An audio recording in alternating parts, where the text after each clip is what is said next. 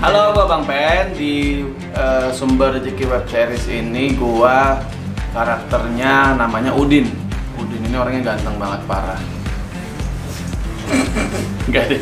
Jadi looknya itu tuh wah gua banget. Di Udin ini nih sebenarnya dari kampung.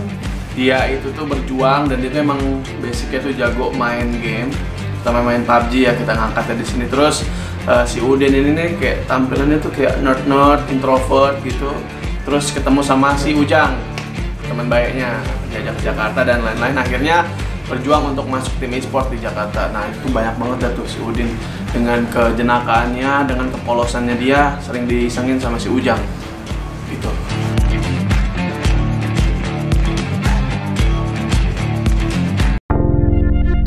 Vision Plus